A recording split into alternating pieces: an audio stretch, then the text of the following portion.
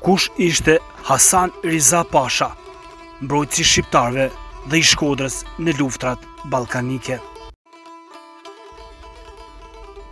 Hasan Riza Pasha u lind në Irak në Bagdadit në vitin 1871. Ishte djali i pushtetasit të madh osman, Mehmet Namik Pashës, me origjinë nga Konja, qytet i Turqisë. Pasi mbaroi shkollat ushtarake me radhë, në vitin 1892 doli nëntoger nga Akademia Ushtarake e Stambollit. Më 1895 kreu shkollën e shtatmadhorisë dhe u gradua me gradën kapiten. Kurse, në vitin 1897 mori pjesë në luftën osmano-greke dhe mbas disa shërbimesh në ushtri, Fiton gradën nënkolonel.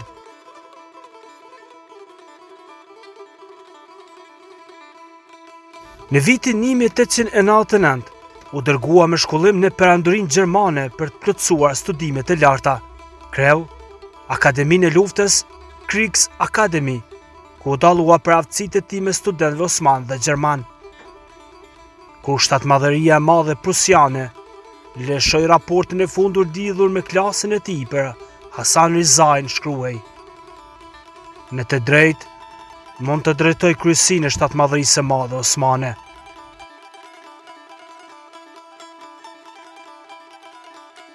Pasi shërbeu si vali në Irak gjatë viteve 1901-1911, iu dha grada e gjeneralit, Në vitin 1911, u ngarkua komandant i divizionit të pavarur të Shkodrës dhe më 7 mars 1912 emërohet vali e komandant i sanxhakut në krye me 13.600 ushtarë dhe 36 topa. Hasan Riza kritikonte haptas partinë e xhonturqve me gjithë shoqërinë turke të quajtur Bashkim e Përparim për dëmin që i kishin sjellë ushtrisë turke, duke u lënë oficerëve shesh të lirë që të merreshin me politikë. Shqiptarët i simpatizonte shumë dhe veprat letrare patriotike i çmoi mjaft dhe i shpërbleu, sikurse veprën me poemën Lahuta e Malcis, dhe pas propozimit të Hasan Riza Pashës, Gjergj Fishta u dekorua me medaljen Mearif, një titull dhe një medalje e lartë në Perandorinë Osmane.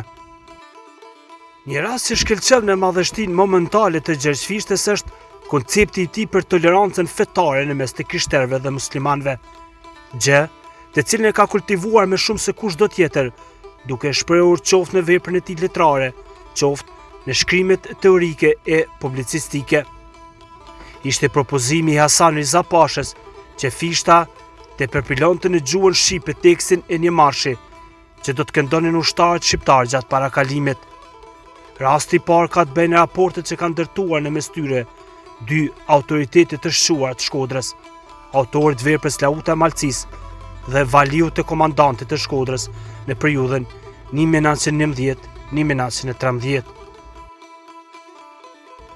Hasan Riza Pasha kërkonte nga Stambolli që shqiptarët t'i gëzojnë të gjitha të drejtat dhe liritë e një kombi. Madje, i nxiste ata për këto ndjenja. Në një moment, i propozoi Fishtës që të përpilonte në gjuhën shqipe tekstin e një marshi që do të këndonin ushtarët shqiptarë gjatë parakalimit. Teksti i marshit fillonte kështu, Prej ka lind e ka merr hana, m'u çue shekulli kundra nesh, djem kreshnik na ban nana, vetëm na iu dalim ndesh. Të parët tanë burra çelikut, bota mbarë sot i nderon, ata i binin ndesh armikut, si rrufeja kur veton. Dy muaj pas marrjes së detyrës Hasan Rizaj Ndërmori strukturimin e mbrojtjes së Shkodrës në disa vende njëherazi. Në Shkodër, arrinin sasi të mëdha telash me gjemba, ishte fortifikuar Taraboshi, kodrat përtej Kirit dhe Bardhaj, duke strukturuar dy breza mbrojtës, i vogli nga kodra e qytetit dhe i madhi, që përfshinte Taraboshin, kodrën e Bërdicës dhe të Vukatanës. Një muaj pas shpalljes së luftës nga Mali i Zi, më 8 tetor të vitit 1913, anija malazeze e quajtur Neptun, u nis nga Virpazari me dy flamuj të mëdhenj, një të bardhë dhe një të Austro-Hungarisë, duke lundruar liqenit të Shkodrës për t'i dërguar një letër Hasan Rizajt për ta bindur të dorëzohej. Pas kundërshtimit nga valiu, një tjetër dërgatë u përsërit më 6 dhjetor, duke marrë të njëjtën përgjigje. Pasi ushtritë osmane ishin mundur në frontet e Kirkilisë, Manastirit dhe Lulburgas, më 3 dhjetor, jo shumë larg Stambollit, u nënshkrua armëpushimi i Çatallxhas në lidhjen ballkanike. Marrëveshje kjo që pengonte perandorinë osmane që të dërgonte përforcime dhe furnizime në fortesat e rrethuara, e njëra prej të cilave ishte edhe Shkodra. Qëndresa në Shkodrë vazhdoi pavarësisht pakënaqësive në Stamboll ndaj mosbindjes së Hasan Riza Pashës.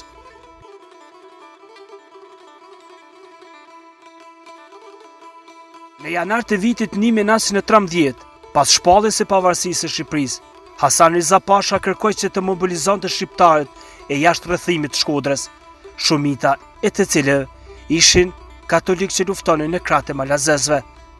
Për të mbështetur osmanët, arqipeshkvi i Shkodrës, Jak Serreqi, kërkonte garanci personale nga Valiu, që në kala me flamurin osman të ngrihej edhe flamuri shqiptar, si shenjë e përpjekjes së autoriteteve osmane për Shqipërinë. Flamuri shqiptar do të ngrihej edhe në fortifikimet e Taraboshit, Bërdicës, Tepes dhe Bardhajve.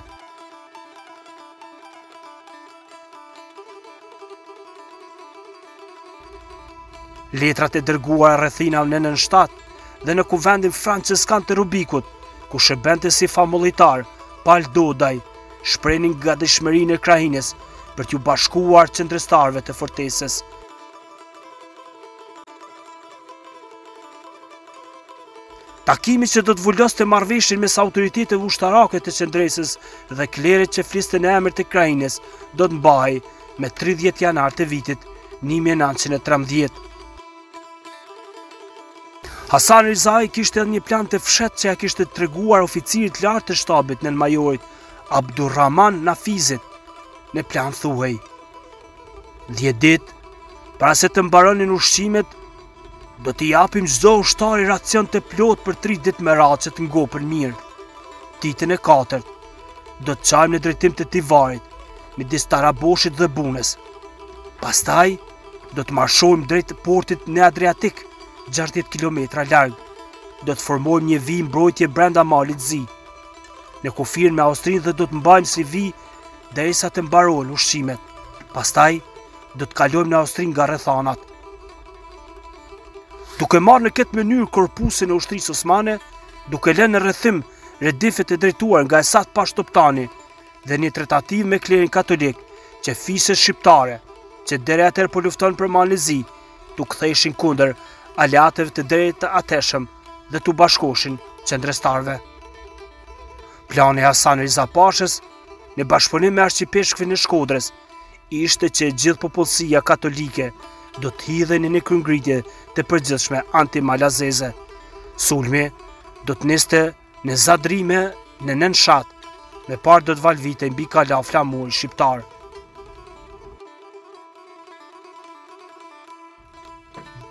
Por, këtu del në skenë sërish një nga figurat më të diskredituara në historinë e re të Shqipërisë, Esat Pashë Toptani. Ky ishte zëvendës i Hasan Rizajt. Më 30 janar të vitit 1913, Hasan Rizaj dhe Esat Pashë Toptani diskutuan gjatë në shtëpinë e Toptanasit për çështjet e ditës. Po atë ditë në orën 18.25 minuta, teksa po kthehej në shtëpi në errësirën e natës, i dalin përpara tre të panjohur. Dy prej tyre e qëllojnë me revolver, kryekomandanti i Shkodrës, Hasan Riza Pasha, dha shpirt bas 5 orësh. Ai u varros të nesërmen, Ditën e premte, në varrezat e xhamisë së vjetër të Parrucës, më pas, varri i tij u zhvendos në varrezat muslimane të Komaneve dhe aktualisht në qendër të qytetit para gjimnazit 28 Nëntori, dikur kazerma Osmane, e ma pas kazerma Teuta, është ndërtuar një lapidar përkujtimor, me një mbishkrim shqip dhe turqisht, ku thuhet, lavdi, Hasan Riza Pashës, burrë si motit ushtar trim, komandant i ushtrive tona në Shkodër, Shqipria dhe Shqiptarët, nderojnë luftëtarin Hasan Riza Pasha. Në Shkodër, por jo vetëm atje, të gjithë ishin të bindur se vrasja e Hasan Riza Pashës, ishte kurdisur nga Esat Pashë Toptani. Tre njerëz u përfolën asokohe, njëri prej tyre ishte Osman Bali, njeri shumë e afërt i Toptanasit. Një Mahmut nga Kavaja që ka mbetur pa mbiemër dhe një farë Tefiku edhe ky nga Shqipëria e mesme. 13 vjet më vonë, më 8 shtator të vitit 1926, Osman Bali do të mbetej i vrarë nga Lam Leka dhe Myslim Peza. Rrethimi i Shkodrës vazhdoi edhe për 3 muaj të tjerë zyrtarisht Esat Pasha që zëvendësonte Hasan Rizan, Shprehej për vazhdimin e qëndresës, por ndërkohë kishte nisur bisedimet e fshehta me Malin e Zi për dorëzimin e Shkodrës. Këta pranuan që ushtria osmane të largohej nga qyteti me armë në krah, duke drejtuar kështu të paktën nderin ushtarak. Në 25 prill të vitit 1913, princi malazez Danilo dhe shpura e tij u ngjitën në kështjellën e Rozafës. Këtu nisi të valonte flamuri malazez, shkodranët e mposhtur nga gjylet, uria, tradhtia, shikonin nga dritaret e shtëpive të tyre, se si ushtarët e knjaz Nikollit, marshonin fitimtarë mbi kalldrëmin e tyre të vjetër, Shkodra kishte rënë. Në raportet e jezuitëve për situatën në Shkodër, ku kishin hyrë malazezët shkruan se ata e përzunë rojën, që tradicionalisht ruante pazarin. Nuk shtin më me topa sipas zakonit dhe i kthyen mbrapsht jevgjit që vraponin drejt qytetit për të njoftuar të interesuarit. Është theksuar se ushtarët e kral Nikolës bënë shkrum e hi çka u përkiste shqiptarëve muslimanë, kudo nga kalonin. Famullitarët bënë të ditur se në Pejë e Gjakovë donin t'i detyrojnë muslimanët që të bëheshin ortodoksë. Dhe mbasi ata nuk u bindën, u masakruan me qindra dhe mijëra.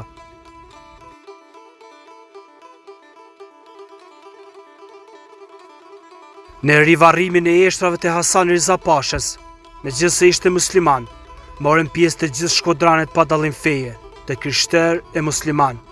Në mes të tjerave fjalimin më elegant, më prekës, me ndjenja mirënjohjeje e me fjalë të zjarta, atdhetarie e mbajti atë Gjergj Fishta. S'pyeti Shkodra ishte musliman apo i krishterë, miku i Shqipërisë, strategu ushtarak Osman, Hasan Riza Pasha. Në vitin 1936, sipas propozimit të kryetarit të bashkësisë së Shkodrës, Zenel Prodanit, eshtrat e Hasan Riza Pashës të vrarë pabesisht më 1913, u rivarrosën në varrezat e Komanëve. Në këtë rast, Gjergj Fishta tha, Hasan Riza Pasha do të kujtohet si atdhetari më i mirë për shpëtimin tonë, nga kthetrat e malazezëve dhe që u bë fli prej atyre që nuk deshtën shpëtimin e atdheut tonë. Prandaj, Hasan Riza Pasha meriton të kujtohet baraz me heronjtë e kombit shqiptar. Fishta, e ka shkruar edhe epitafin për Hasan Riza Pashën që është i gdhendur në gurin e varrit të tij. Në atë epitaf shkruan, Gazi Hasan Pasha, burrë si motit, ushtar trim besnik komandant i ushtrive osmane në Shkodër, mik i Shqipnisë e i shqiptarëve.